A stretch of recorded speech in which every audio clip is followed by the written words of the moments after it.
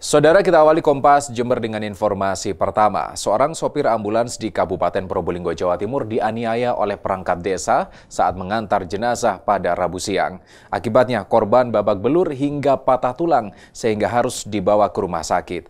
Penganiayaan terjadi karena sopir ambulans melaju dengan kecepatan tinggi.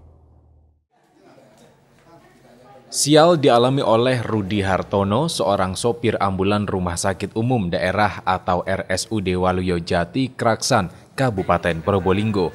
Ia babak belur dianiaya oleh oknum perangkat desa saat mengantarkan jenazah dari Rumah Sakit Waluyo Jati ke Kelurahan Semampir, Kecamatan Kraksan.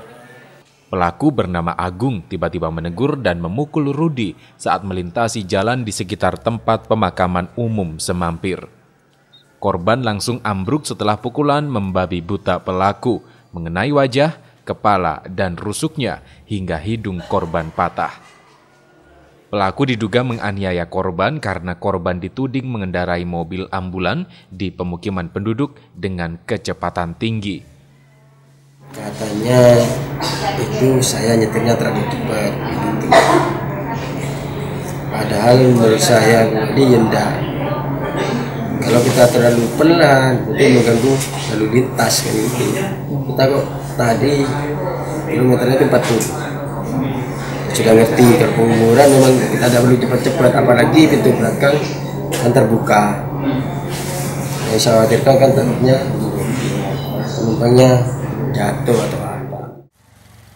Polisi telah mendalami kasus penganiayaan ini dengan mendatangi lokasi dan memeriksa korban.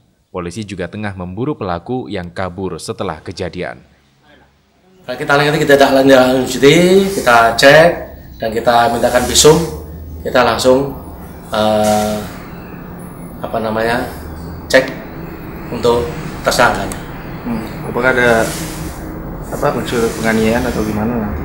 Yang jelas kayak kayak begitu kita belum tahu persis, makanya kita cek dulu uh, kebenarannya dan kepastiannya supaya kita tidak mengada-ada. Kita cek supaya nanti kita laporkan. Babul Arifandi, Kompas TV, Probolinggo, Jawa Timur.